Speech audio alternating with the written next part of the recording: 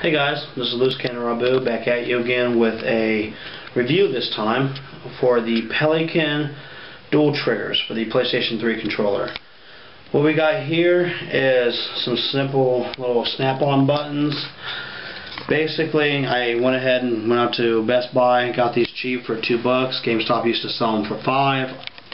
I'd say go out and just check your stores, shop around a little bit, and see if you can get a good price on them. I wouldn't pay any more than five bucks for them. So, but uh, just go ahead and um, pick some up.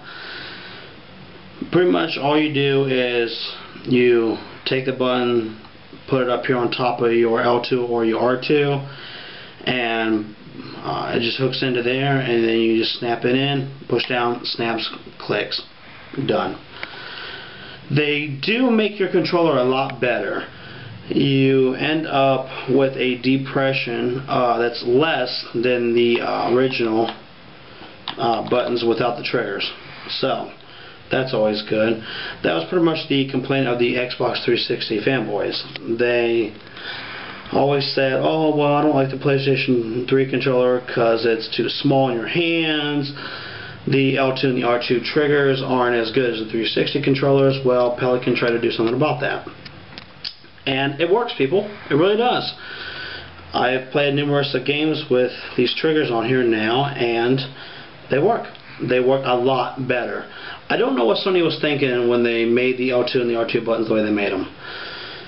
They just didn't work correctly. Your fingers would constantly like slip off of them. Just horrible. I'm hoping maybe maybe on the PlayStation 4, maybe they'll get it right. I don't know. But for now, this is a cheap little solution.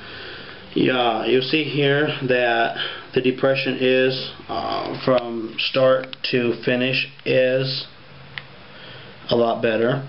You will also notice here that they left a little bit of a gap. I don't know if you can see that on there or not.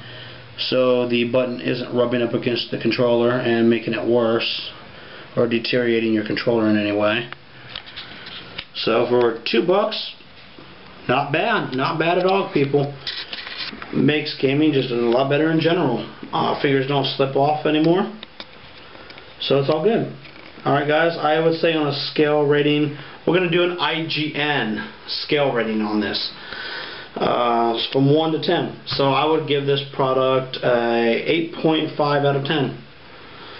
Easy install, great uh, depression. So all around good product. Go out and pick you guys up uh, one of these. If you have multiple controllers, make sure you pick up enough for all your controllers. I couldn't actually play without these anymore. That's just how much I like these. So, uh, go ahead and pick you guys up some, and hopefully I will be back at you with another review later on. Got some things planned, maybe some unboxings. Oh, we'll see what happens. Alright guys? This is Loose Cannon Robu, and uh, check out some people, my boy Aphrodite's Crush. Check out I Win Like a Boss. He did a review on these triggers. Going to end up being a lot better than mine, I know, because I'm still a noob. So uh, check those people out. Check out It's Me Morpheus. And check out Soldier Knows Best. Alright guys, peace.